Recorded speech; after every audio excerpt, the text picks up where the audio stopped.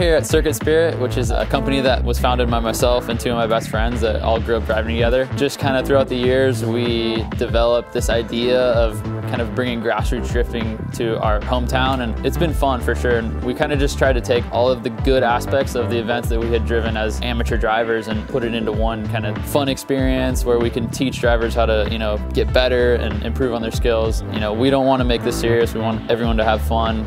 And I think you can see that in our pits. It really shows. Everyone's having a fun time, whether it's watching, driving. Everyone's really just enjoying themselves, and that's that's what we're really about. Yeah, I've been racing professionally uh, dirt bikes for 10 years now, which is absolutely crazy to think about. I just turned 28, so you know, I started when I was 18 and never envisioned this when I was my first rookie year. I was uh, not getting paid. I'm just kind of doing it for the love of the sport, and now I'd consider myself, you know, in the you know top five of you know best in the world in, in Supercross. So been a heck of a ride, but it's it's been a really really fun one.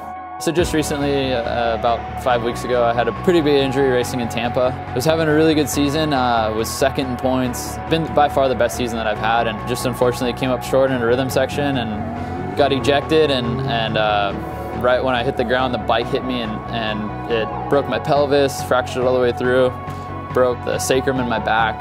Right now I'm kind of in a, a, good state, you know, no more pain. Now I'm just like, I feel okay, so I feel like I could be able to walk, but I can't. And uh, I'm just waiting it out, waiting for everything to do its thing and, and heal up and take that next step to the road to recovery.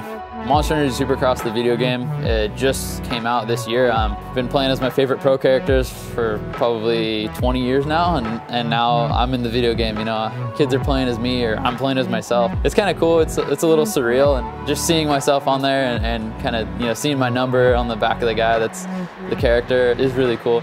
Yeah, having the trailer out here, I mean, it's crazy. You don't see setups like this very often and just have this kind of presence, you know, especially at our events is, you know, it's an honor. We're, definitely stoked to have, have Alienware out here and entertaining our fans when they're not being entertained by the driving. I saw some people over here with the virtual reality kind of like feeling around and I'm like, man, that's kind of cool. You know, as soon as I can get up and walk, I'm gonna definitely try this stuff out for sure.